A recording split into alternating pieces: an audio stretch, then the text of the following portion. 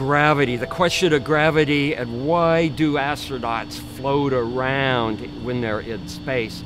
And it's not because the gravity is gone, it's because the spacecraft motion cancels out the relative effects of gravity that, that you experience.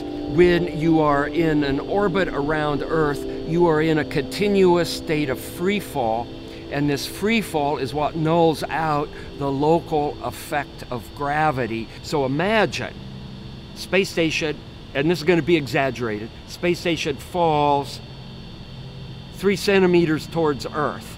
Okay, it's closer to Earth, but at the same time, if it moves three centimeters out that way, its radial distance from Earth remains constant.